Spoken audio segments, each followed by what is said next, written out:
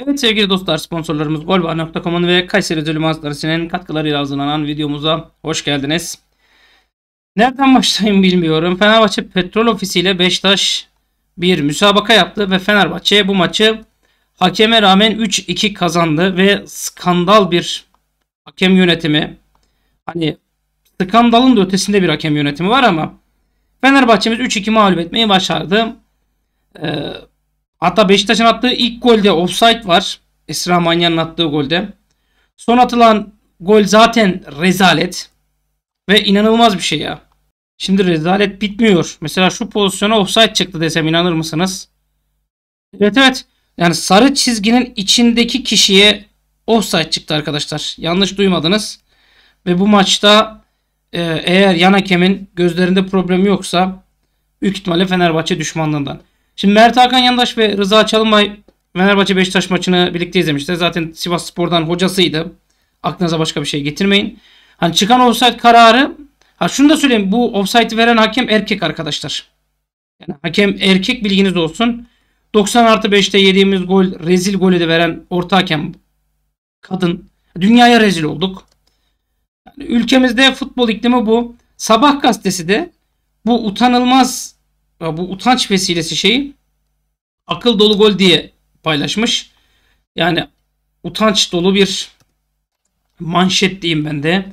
Sabah gazetesinin attığı bu şey için rezillik ya. Başka ne denilebilir ki? Yani daha çok şey söylerim de vela havle diyorum. Bursa 1. Amatör Lig Oğa Akça Spor, Gemlik Köfe Spor karşılaşmasında iki takım futbolcu arasında kavga çıkmış. Buradan Bursa Gemlik'e selamlar olsun. Yani Gemlik sevdiğim bir yer oldu ya. Vallahi güzel bir yer.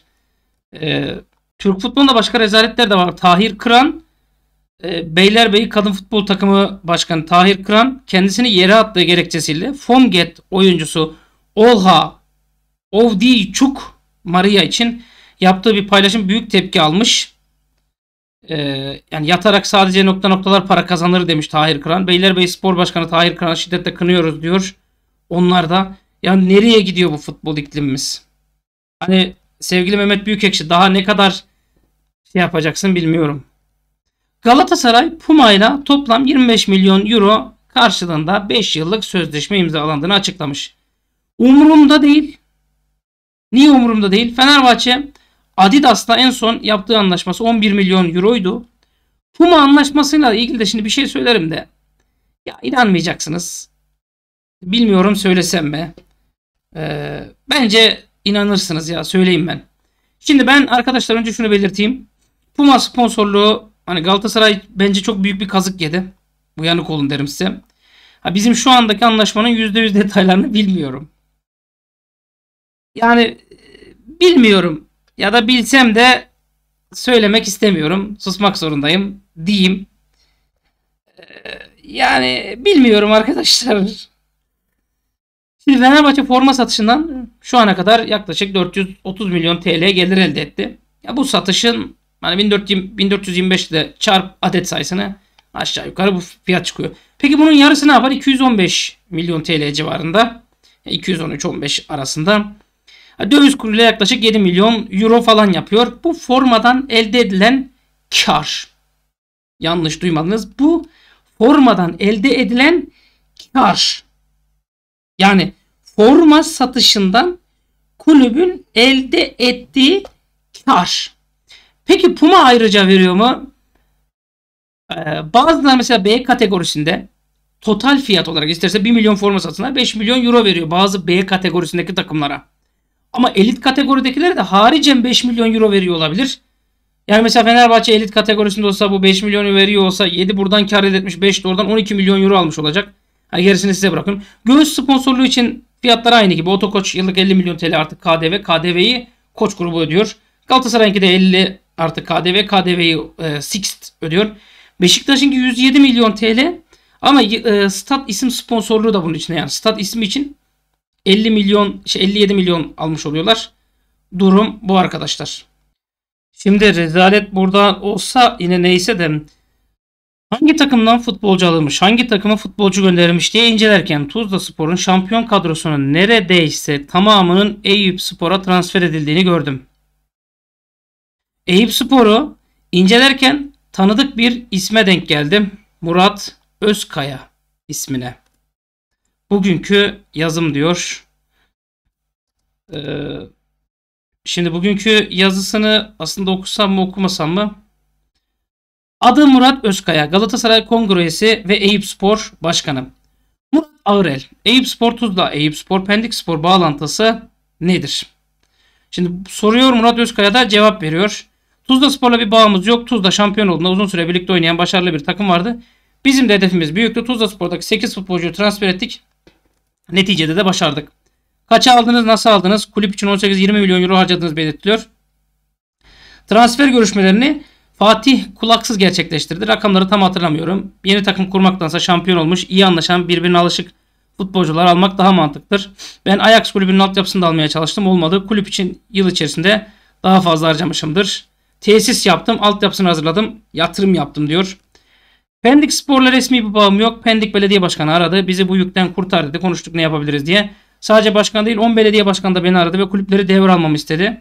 Pendik'i inceledik. Tamam dedik bir arkadaşımız geçti takımın başına. Benim yeğenim diye sevdiğim, tanıdığım birisi diyor. Bilginiz olsun. Resmi bir bağımız, akrabalığımız yok. Bizim takımdan futbolcu transfer ettik oraya. O dönemde Pendik e, bizim alt ligimizde başardık. E, Pendik bizim olduğumuz lige çıktı. O zaman ben de ilgilenmeyi bıraktım açıkçası. Zaten bizi de geçip Süper Lig'e çıktılar diyor.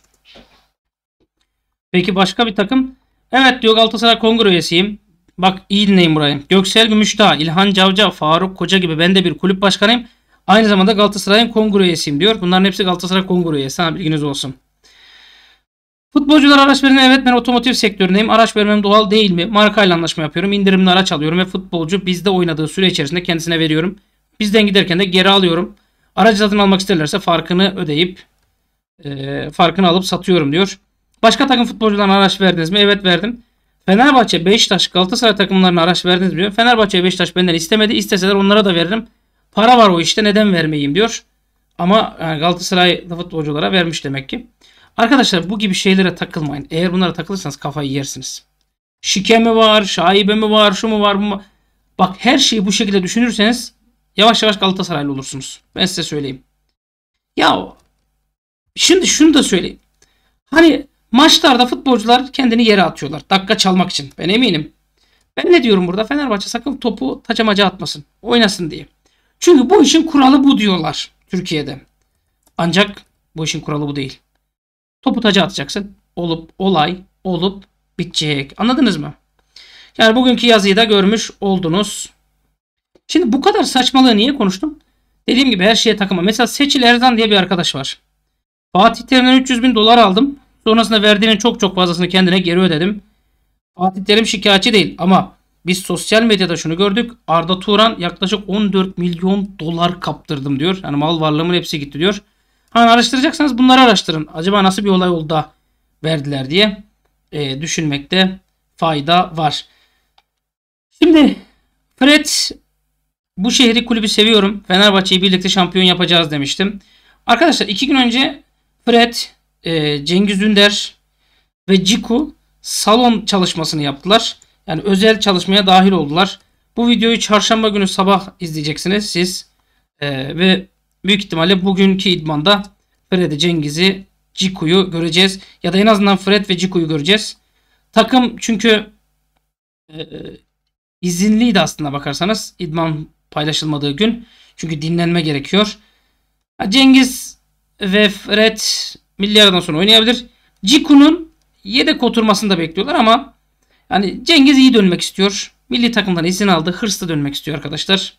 Onu belirteyim. Altay Binder favori kalerim Edwin, kalecim Edwin, Edwin Van der Sar diyor. Van der Sar diyor ki merhaba Altay yakında Manchester'da görüşürüz. Kalecilik hakkında sohbet ederiz ama benim favorim hala Andre Onana diyor. Yani Altay bir gol daha yemiş. İlginç. Burhan Can Terzi Altay Bayındır Galatasaray'a gelmek istiyor demiş. Bu böyle dediyse kesinlikle Galatasaray'a gelmek istemiyordur. Yani bu arkadaş ne diyorsa tersten okuyun. Çünkü tipik Galatasaray duyumcusu bu arkadaşımız. Manchester demişken Manchester United Şimanski transferi için Fenerbahçe'den kolaylık sağlamasını rica etmiş. Bilginiz olsun. Ve Napoli ve Manchester United Şimanski için kesenin ağzını bir hayli açmışlar ve iki takımdan 15 milyon euro ödemeye hazırlanmış. Aman ne kadar kesenin ağzını açmışlar. Kapatın keseyi. Kapatın içinden böcek böcek çıkar. ya arkadaş ya. Allah'ım ya Rabbim. Ya 15 milyon euroya verilecek futbolcu değil Şimanski. Bir yatırım. Bak Murat Aşık da diyor ki Ferdi Kadıoğlu seneye Fenerbahçe'de olmayacak. Ya İngiltere'de ya da İtalya'da oynayacak diyor. Bak böyle konuşmayın. Böyle konuşmayın yer yerinden oynat. Sonra bak altından kalkamazsınız. Ben size söyleyeyim. Altından kalkamazsınız bak. Yani bunları ben bunları söylüyorum ama az Yıldırım bunları söyledi demeyin yani. Bunlar altından kalkamazsınız. Bak ben size belirteyim. Hakikaten altından kalkamazsınız. Yani e, gitmez. Futbolcu derken ben bir sene daha durmak istiyorum. Ha Ferdi'nin şöyle bir söylemi var. Fenerbahçe'yi şampiyon yapıp gitmek istiyorum diye. Doğru. Ben size bir şey söyleyeyim. Ferdi artı Şimanski'ye Fenerbahçe'nin beklentisi 60-70 milyon eurolar. Ve bu inşallah olacak gibi. Ama sezon sonunda. Devre arasında Fenerbahçe Zayt'sı kiralık ya da bonservisiyle elden çıkarıp Lincoln Henrique'yi kadroya dahil etmek için hazırlık yapıyormuş. Bir şey söyleyeceğim. Bu haberi nereden duydum ben ya? Radıköy sokak mıydı? Cadıköy mokak mıydı? Öyle bir YouTube kanalı vardı. Ben oradan çok çok önceden duydum bunu ya. Neydi lan sayfanın adı? Şeyin adı ya kanalın adı. Aklıma gelmez. Sizin aklınıza gelirse yorumlara yazar mısınız arkadaşlar ya? Ee, dilimin ucunda ya. 63 bine yakın falan da şey var. Takipçisi var. Bu herifi de kim takip ediyorsa sürekli sallıyor. Bir de buna inanıyorlar. İnanılır gibi değil. Bir de buna inanıyorlar. Hem inanılır gibi değil hem de buna inanıyorlar. Neyse Allah herkese gönlüne göre versin. Şimdi bu arkadaş bu az önce bahsettiğim YouTube kanalındaki arkadaş öğretmendir muhtemelen. Yakışıklı bir arkadaşa benziyor. Karizmatik bir şey. Biraz da kilo vermiş bu aralar dikkat ediyorum. Bu arkadaş Çağlar Söyüncü ismini hiç kimse konuşmuyorken sosyal medyaya attı. Dedi ki Fenerbahçe Çağlar Söyüncü'ye şunu söyledi. Git bonservisini al gel dedi. Çağlar da almaya çalışıyorum dedi demişti. Ben hani beklenti içerisindeyim. Hani herhalde Çağlar bonservisini alacaktır ya da kiralık gelecektir diye düşünüyorum. Çünkü bu arkadaş öyle haybeden sıkacak bir arkadaş değil. O kadar takipçi boşuna takip etmiyordur. Bence Çağlar Söyüncü de kulübüyle görüşmelere başlamıştır. Bu arkadaşın da duyumundan yola çıkarak hareket edersem. Şimdi anlamayanlar vardır belki kanala yeni abone olanlar vardır. Biz bunların hepsini defalarca söyledik. Transfer döneminde değil asıl bomba duyumlar transfer döneminde önce ya da sonra konuşulur diye söyledim. Birçok kişi inanmadı ama şimdi inanıyorlardır. Çünkü şimdi transfer sezonu bitti. Ee, daha doğrusu başlayacak bekliyoruz. Ama bombalar peş peşe geliyor ve daha da gelecek. Ha, şu da bir gerçek. Yorumlarda bakıyorum hocam Çağlar eski Çağlar değil. Hocam Çağlar alacağına Yusuf Akçiçek'i oynat falan diyorlar. Ben de hayretler içerisindeyim. Yani Galatasaray bir futbolcu aldığı zaman Beşiktaş bir futbolcu aldığı zaman transfer marketine bakıyorsunuz. Fenerbahçe futbolcu aldığı zaman eski halinde olmadığını niye konuşuyorsunuz? Mesela bir Endombili için bir Zaha için ortalığı 56 yaptınız. Ama ben dedim bu oyuncunun disiplin sorunu varmış. Takımdakilerle kavga ediyormuş. Kendini takımdan üstün görüyormuş. Gittiği yeri karıştırabilir diyorlar dediğim zaman. Niye bana inanmak yerine e, o zaman transfer markette konuşuyorsunuz? Ben şunu söyleyeyim. Çağlar Fenerbahçeli bir çocuk. Fenerbahçe'mize hayırlı olacaksa inşallah gelir. Hayırlı olmayacaksa Fenerbahçe'ye zarar dokunacaksa inşallah gelmez. Yani gerekirse ben yanılayım. Radek Kurunic için de ben aynısını söyledim. Radek Kurunic de Fenerbahçe'ye gelmek için depara kalkıyor. Hani Milan'a Allah'ınız varsa beni bırakın Fenerbahçe'ye gideyim diyor. Onlar da yok biz Müslüman değiliz diyor. Olsun diyorlar. Sonuçta sizin de inandığınız bir şey var. Hani üç baba kutsal ruh falan filan diyor. Onlar da e, düşünebiliriz falan filan diyorlar. Bakalım ne olacak. Ama e, Kurunic için e, Aralık başında ben size %100 duyum vereceğim gibi geliyor. Yani ya %100 geliyor ya %100 gelmiyor diye şahsi kanaatimi içimden geçen hissiyi soruyorsanız %100 gelecek. Hissi. Yani hissi olarak %100 Rade Kurniç Fenerbahçe'de diyorum. %50 de Çağlar Söyüncü Fenerbahçe'de diyorum. Bak şimdi ben bunu hissi diyorum ya. Bunu muhtemelen kullanacaklar. Diyecekler ki bak %100 dedi diyecekler. Ben de başlığı atıyorum o yüzden. Herkese Odri Meydan. Radyo Kurunic Fenerbahçe'de. Hayırlı olsun ilk kapımız diyeyim.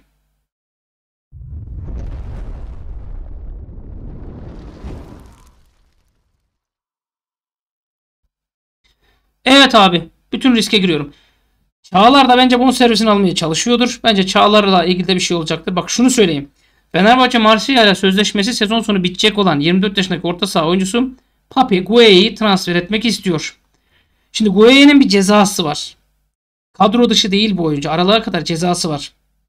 O yüzden oynayamayacak. Yani sanki oyuncu kadro dışıymış Fenerbahçe daha kolay alırmış izlenim veriyorlar ama böyle bir şey yok. Ya böyle bir şey olabilir mi ya? Ya böyle bir şey olabilir mi? Ben işin içindeyim. Böyle bir şey olabilir mi? Ama şunu söyleyeyim. Ben 6 numara alamadık ama devre arasında hem Pape Gueye'yi yani hem Pape Gueye'yi hem Rade Kurinic'i hem Çağlar'ı alsak Zayt'ı göndereyim gitsin. 1. Crespo'yu göndereyim gitsin. 2. Savunmadan da Samet Akaydın'ı 3 2,5 milyon euroya 3 milyon 2,5 milyon euroya satayım. Kabul ediyor musunuz? Bir düşünün bakalım. Hadi size süre veriyorum. Düşündünüz mü? Gerçi ben videoyu durdurdum. Sizden ben zaman aynı geçmiyor. Siz bir saniye falan ben 2-3 dakika. Çağlar, Kurunic, Papegoye. Not. Üçünün toplam geliş bedeli 5 milyon euro olsun. Zayt, Crespo, Samet Akaydın 3, 2,5 Samet Akaydın 2,5 da Crespo'dan gelsin ya da 3,5 milyon euro. Yok ya öyle olmaz ya. Şöyle söyleyeyim Samet, Crespo, Zayt gidecek. Buradan gelen paraya Çağlar, Kurunic ve Papegoye'ye alınacak. Üçünü de bonservis alınacak. Kabul ediyor musunuz? 24 yaşında Goya 197 maç 7 gol 10 asist bir cezası var. Transferdeki usulsüzlükten dolayı cezası var. Onu söyleyeyim. Şimdi bak doğruyu konuşmak gerekirse senin elinde İsmail Yüksek var. Hani Salih Özcan falan konuşuyordu. Abicim 10-15 milyon euroya Salih Özcan'ı kimse bize koklatmaz. Koklatmaz. Bak oraya bence 8 oynayabilen bir isim almalıyız. Hatta ben size biraz daha abartayım mı? Yani ee, Aziz Allah. Ben genelde ezan okunduğu zaman söylediğim duyumlar tamamen çıktı bugüne kadar. Demek ki biz bir 8 alacağız devre arasında. Şunu diyecektim ben içimden geçeni söyleyeyim. Kurunic 8 oynar mı? Oynamazsa İsmail oraya kaydırabilir misin? Mesela Fred'in boşluğunda diye cümle kuracaktım. Söylemiş olayım. Bu arada Dusan Tadic 35 yaşında. Kendisine buradan doğum gününü tekrar kutlamış olalım. Ee, Fenerbahçe'miz Karagümrük hazırlıklarını güzelce sürdürüyor. Fred, Ciku, Cengiz e, ya eninde sonunda bu arkadaşlar oynayacaklar ama hepiniz benden aynı cümleyi kurmamı istiyorsunuz. Arkadaşlar bir aksilik olmazsa olacak. Yani bir aksilik olmasa Karagümrük maçında sahada olacak bu üç arkadaşımız da. Yani sahada olacak derken İsmail Kartal şans verirse. Anlatabiliyor muyum? Ee, şans verirse. Ben size bir bomba vereyim mi? TFF Suudi Arabistan'da maç oynatacak. %100. Ancak finalde Türk bir hakem olmayacak arkadaşlar. Yani Türk bir hakem olmayacak. Hakem yabancı olacak arkadaşlar.